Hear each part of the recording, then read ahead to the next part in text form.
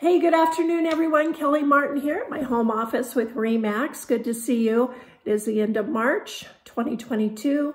We've had a busy first quarter here in Washington County, still in need of more inventory. However, the buyers are here. There's still multiple offers on many properties.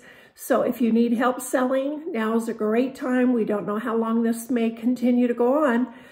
the feds have raised interest rate once so far this year, and we're hearing probably three more.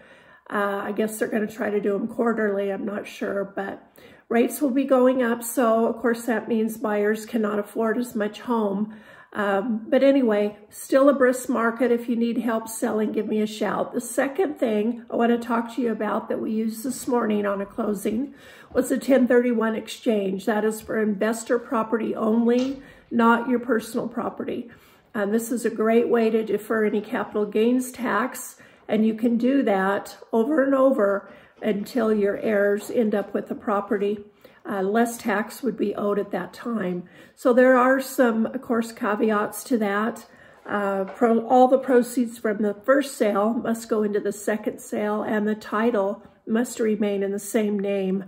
Um, there's an intermittent intermediary that holds those funds. And of course, there's time limits on that as well. But let me know if you have any questions on a 1031 exchange. And of course, I'd be happy to help you through one. Have a great day. We'll talk soon. I'm at 801-347-8852. Thanks again.